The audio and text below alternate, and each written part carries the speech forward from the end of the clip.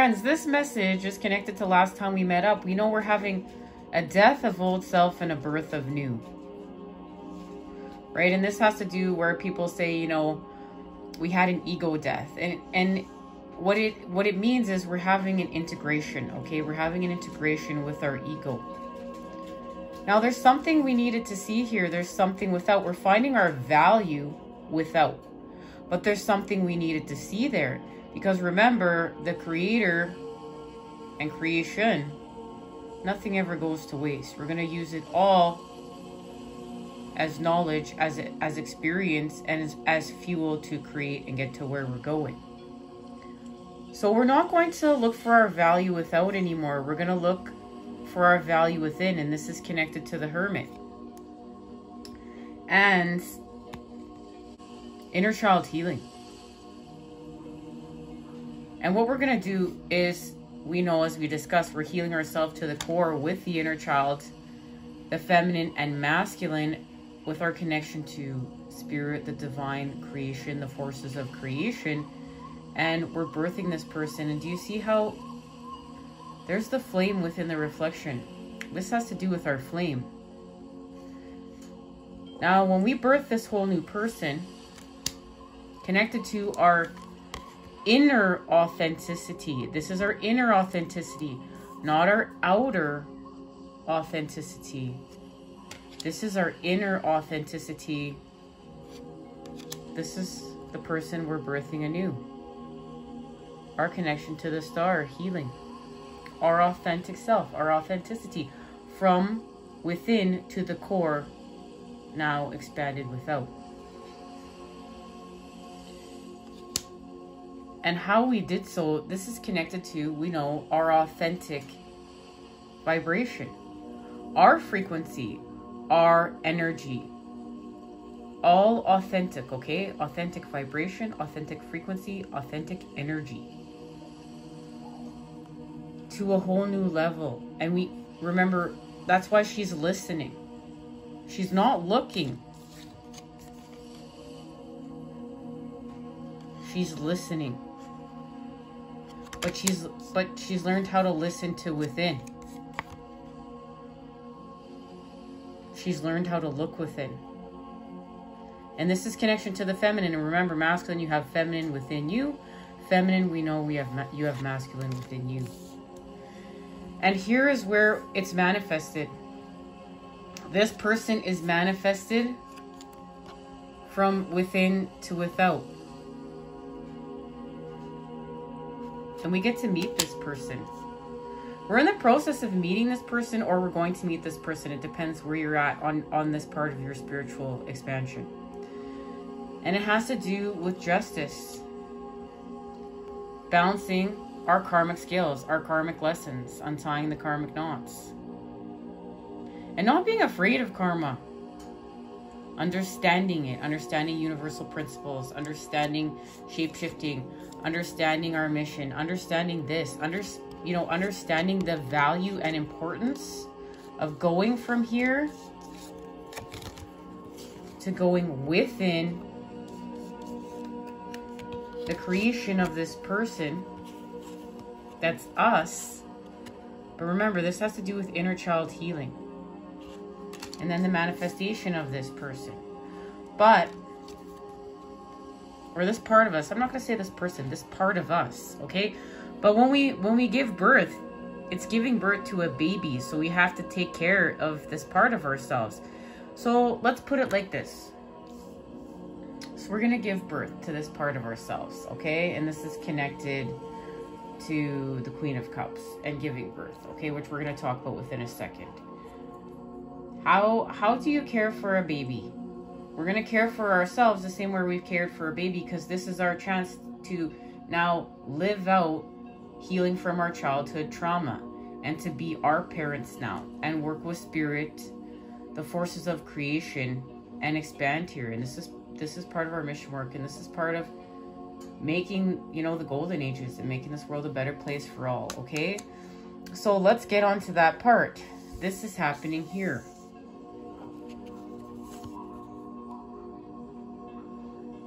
We're past the future and the present come together through the present moment.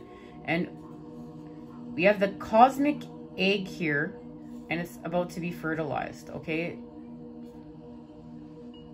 Through meditation. And there's there's the full moon right there. And this has to do with the in-between. And we've been speaking about this now for the, the last few of our messages here. And the in-between is helping us to heal from the past and history, create this future, this high vibe future, and we're doing it with justice. But this is justice of the heart. And, and the heart connected to the mind. The heart connected to the soul spirit expansion. This is part of our destinies, okay? And birthing this new self is part of build the building of the future and healing from history, healing from the past. And we're going to expand with the Eight of Pentacles and we're going to get into what this means because this is one of our main activations. So we're going to put this over here. Guys, this egg was called to have it here today and that it's uh, being very active. And here is where we birth anew. We birth this part of ourselves, everything that we just discussed here. And remember that this is connected to our flame. And this has to do with being reflective, right? What are we being being within? We're being reflective. We're not being deceptive. This is twisted. We're untwisting it and this is being able to be reflective with the Queen of Cups. And this has to do with, we know, Aries, Aries season, meeting up with working with Pisces with our Jupiter Neptune conjunction. The last time this happened in Pisces was in the 1800s. Very special time, and it's happening now. I was connected to the Great Renaissance.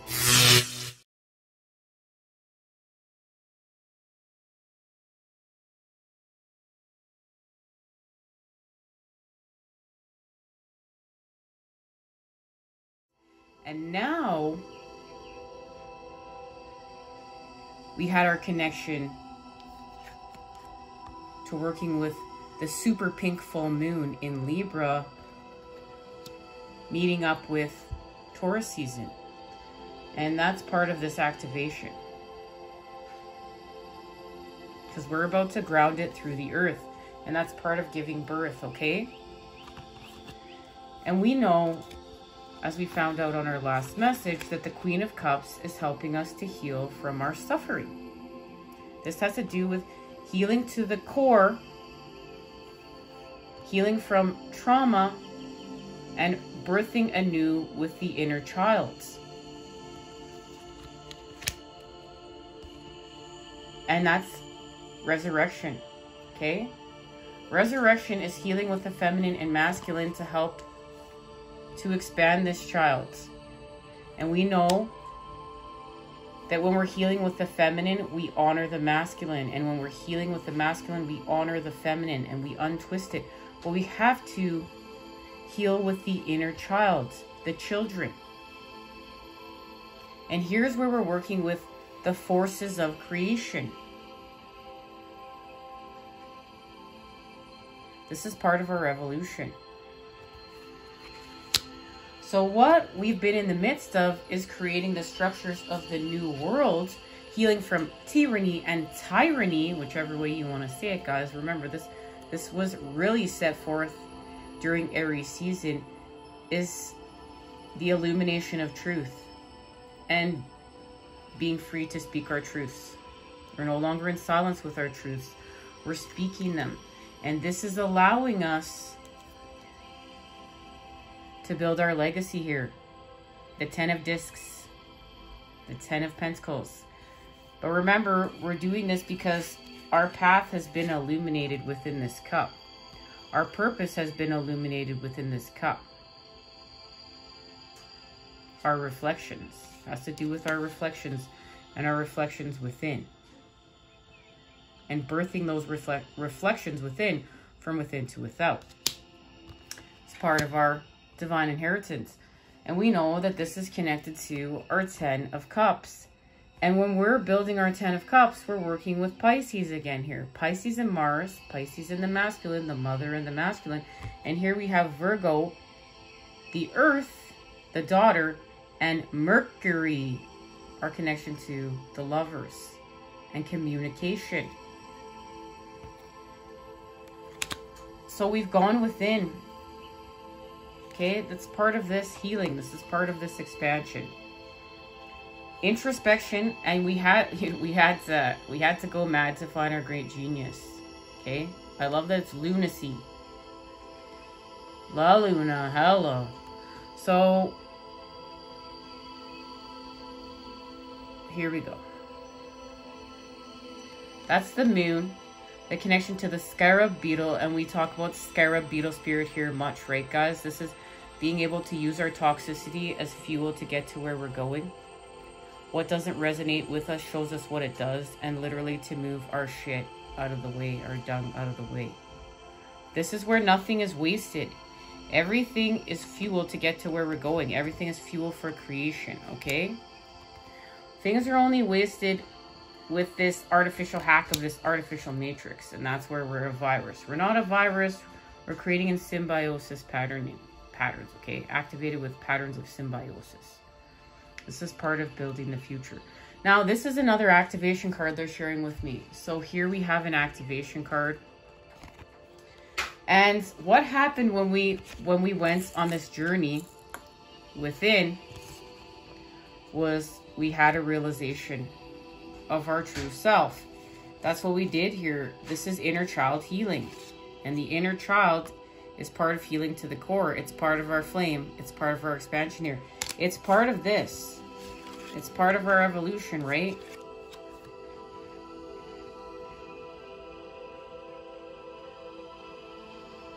Here, all, all the elements have come together, right? We have the daughter, the earth, the sun, the air,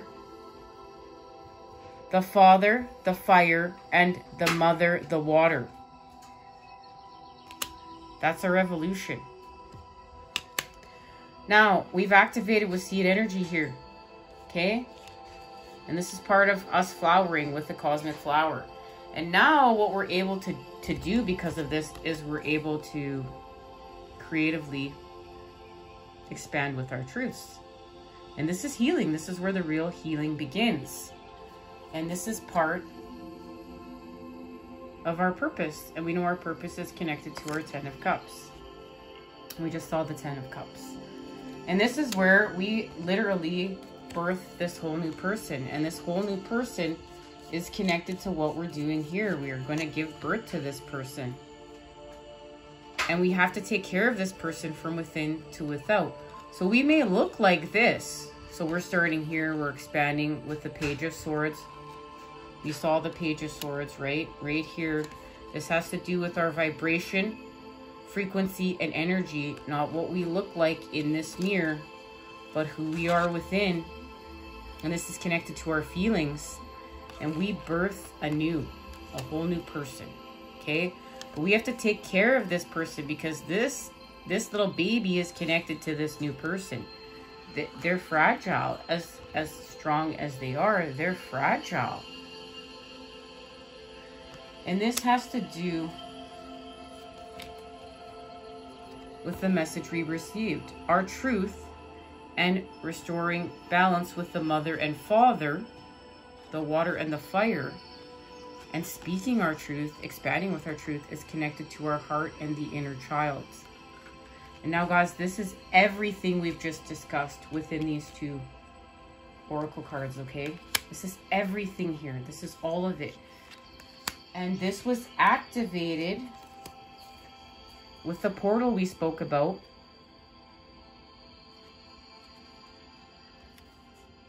Where we went from the Three of Wands, right, to the Four of Wands.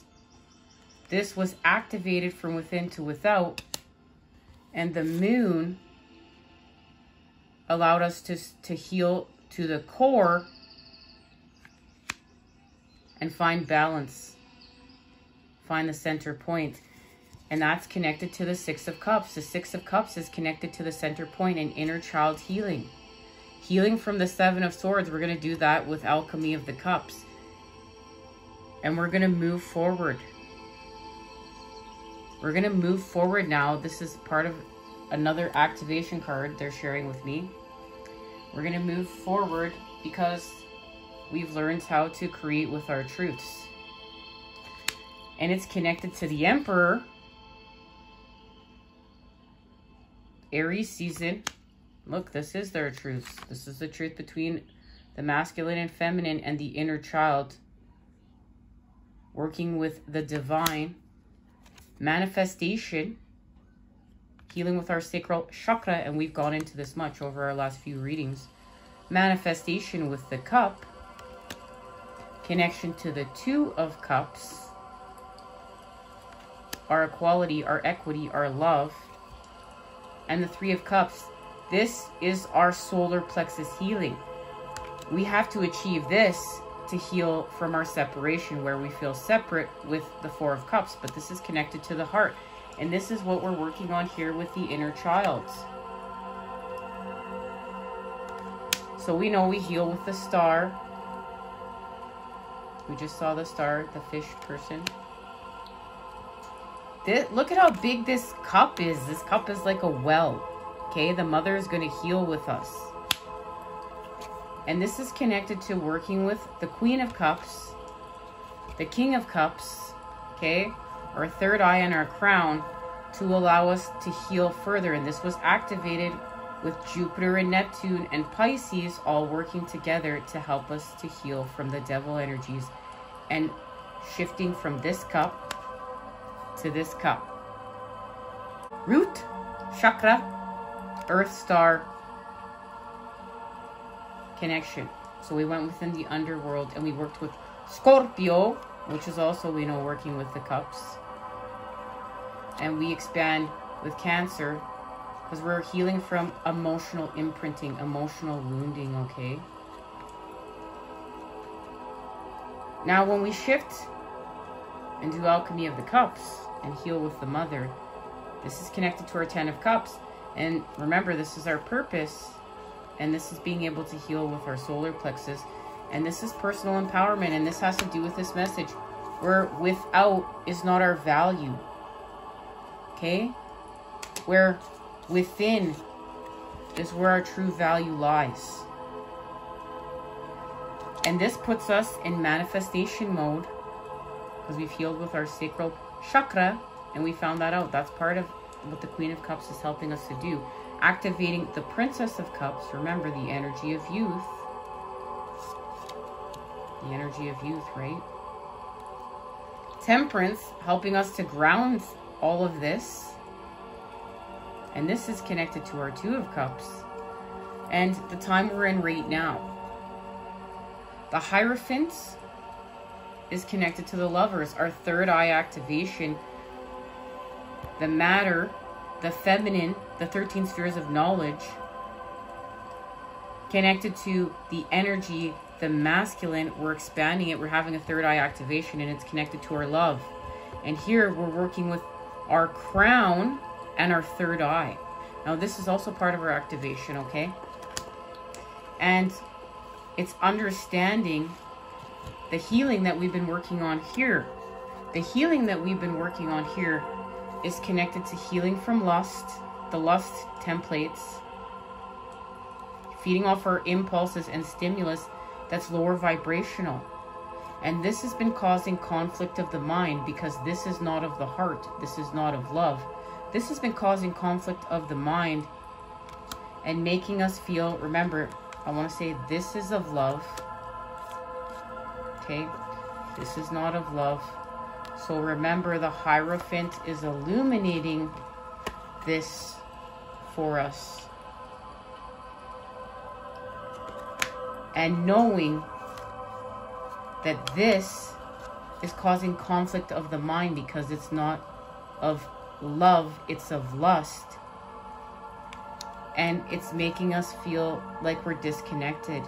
We're disconnected from expanding through the earth here. And remember, this is part of solar, our solar plexus. That's why we're working with our solar plexus right now. It's being, it's being illuminated. They're sharing with me this is there's a laser focus right now on the three of cups, ten of cups connection to the four of cups. Remember where we shift with our heart. Okay, and that is that is the four of cups is act healing from separation is allowing us to expand with the child. So we've restored connection. And this now has to do, remember, with healing with time. The past and the future coming together through the present moment. We're going to heal with time. And we're going to surrender to divine timing. Sometimes divine timing may differ from your ego's timing. If a goal isn't manifesting fast enough according to your ego, be patient and trust the universal flow. So we're going to do this because we've healed from our disconnects. We've healed from this. We've connected. We're going to trust divine timing. And this activates Angel de la Nuit. This is a main activation as well. So we're going to put this over here. That's the Angel of Night. And we know because we're doing all this work, this is now manifesting through the earth with our karmic scales balance. The expansion in our life with creation, as we've healed with time, we've healed with lust, laser focusing on these templates. Guys, we're laser focusing on this temp these templates, our team. And this is part of the cosmic flower this frequency activates the remembrance of the place we call home, the core from which we pour our magnificence out into the world. And we know we've just seen all this. And what this is doing is this is honoring all this work we've done with our sacral chakra now. As we know our solar plexus is connected to the sacral. And this has to do with our depend the dependability of our love and coming together. And guys, we're seeing this. We're seeing this. Right? And being able to nurture. Being able to nurture that little baby, that part of ourself. Being able to nurture each other. Being able to nurture in this world. Being able to nurture with the forces of creation and that's connected to Lady's Mantle. And we received this last time. This is working with water, the mother in dew. And that dew has, has spent time in alchemy with the plants and the sun and the elements. And we remember we, we got on this message that we were giving birth. And look, we found out that lady's Mantle is connected to the feminine, the vagina, and giving birth. This is lit, guys. This is lit. And now what they've shared with me is it's connected to the Eight of Pentacles. Remember, this is one of our main activations. And this is the Eight of Pentacles. And I didn't even put any of this together till we were getting ready for this reading. And our message. This is the person we're growing into, what we're growing into, the energies that we're working to grow with, okay, guys? And the message of it. Let's get it. Eight of Earth.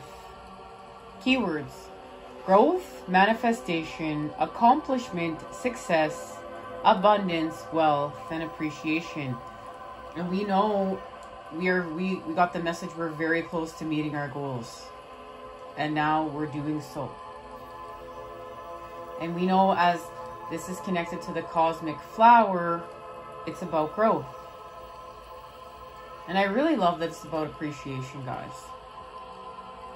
What a positive charge. Key phrases success, wealth, and love. Do what you love. Love what you do. Make plans for the future. A time of abundance ahead. And this is right on target with the seasons, the shifting of the seasons. From spring to summer and the harvest. And we know we're planting the seeds. Confidence in a future outcome. Do not rest on your laurels. Money does not buy happiness. Lose the lack mentality. And that's key. That's key within this shift. We're going to lose the lack mentality. This has to do with being able to be the positive in the negative, be the higher vibes, expanding from the lower vibes. The Eight of Earth symbolizes success, wealth, and love. The manifestations of a positive attitude, doing what you love, and loving what you do. This is a very optimistic card, one that suggests a time of abundance, fruitfulness. Oh, I love that word, fruitfulness, and a good harvest ahead. A peaceful, happy home, career, confidence, the respect of your peers. What more could you ask for? All the seeds born of past planting are growing well, and you can be confident that the outcome you need will manifest. This can also be a good time to think about taking that next big leap rather than resting on your laurels. You have it within you to go further and reach greater heights if you desire especially if you remain committed to doing everything to the best of your ability. And we have to remember, too, this even means resting, making time for rejuvenation, honoring the feminine, creating time for intimacy. The Eight of Earth signifies a time to look, acknowledge, and celebrate your successes, and perhaps to start making new plans for the future as well. So there's a potential blockage though with this. As with everything, right, guys, it's always a challenge. Do you find yourself looking at life through jaded, cynical eyes? Are you currently blind to the wealth and abundance you already have in your life? And boy, is this ever the time that we're in. If so, the Eight of Earth cautions you against those negative thoughts See the value of or appreciate what you have in the present. How will things be different in the future? And see how the past and the future have come together through the present moment. And this is not being granted more, this is being thankful for what we have, where we're at. If you are only after financial reward or status, you may discover the truth in that old saying. Money does not buy happiness. While it's true that money can sometimes bring more freedom and security, embracing a lack mentality will keep you focused on what you do not have instead of what you do. And we know we're going to manifest what we're in the energy of. We don't want to manifest more lack. This is a time of growth. And also being the positive charge and being thankful, gratitude, right? Do you want to be rich or do you want to be wealthy? Take a look around you. You might discover that you already possess priceless treasures if lost can never be replaced. And this is where we heal from the monetary system. This is part of mission work. This is part of where we heal from luxury and the separation that luxury causes us. In, you know, thinking that we need to have all these things in order to be happy, but seeing that we have everything we need. And it's love. Guys, it's love. I know that one of the biggest things that allowed me to shift during my awakening was I lost my home and I bought my dream home. And I was devastated. But right after that, I lost my dog, who was my best friend, and then my father. And my grandfather, all within a period, you know, a period of time that, that wasn't very, you know, it was all connected. And I could buy a new home. I could never replace the people that I lost, the loved ones that I lost. And when my, my father died, I mean, that impacted me greater than anything. That was my biggest fear coming true. And when that happened, being able to face all those fears and being, you know, being living fearless and understanding what that truly meant. And even finding the positive within that you know, I, as much as his death has hurt and it, and the pain and you know losing someone we love i'll never take away the happiness of his death story. I'll honor it and what it taught me. And it taught me so many things and this is where going back to nothing is ever wasted. It's all perception it's all in how we look at it. And this is shifting. All right guys let's expand off this in our next part. I love you all. I'll see you there